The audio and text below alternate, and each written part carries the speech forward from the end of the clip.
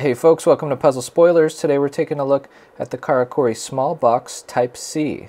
This box is made of walnut and magnolia. Karakuri makes these puzzles by hand in Japan. This one was designed by Osamu Kasho. The small puzzle box series is a great entry point for people looking to get into puzzle boxes.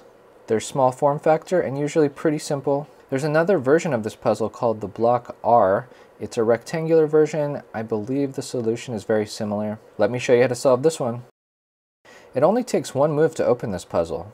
Let's pick two opposing sections of the cube. Let's start with this one here and that one on the other side. And we're going to squeeze and pull the cube apart. So in my left hand, I'll be pulling to the left and the right pulling to the right, just pinching on those two spots right there and right there on the other side. And there we go. We actually found the solution on the first try there, but this is how the puzzle opens. Let's take a closer look. We can see the hidden compartment inside there.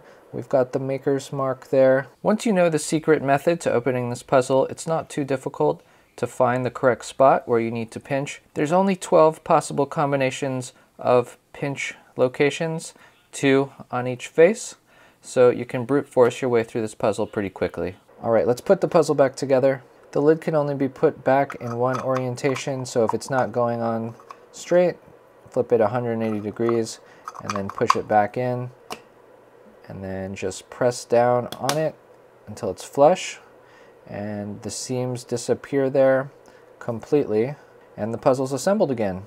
I'll put a link below to where you can buy this puzzle. If you found the video interesting, please consider liking and subscribing. If you have any questions, let me know in the comments. That's it for today, folks. I'll see you on the next video.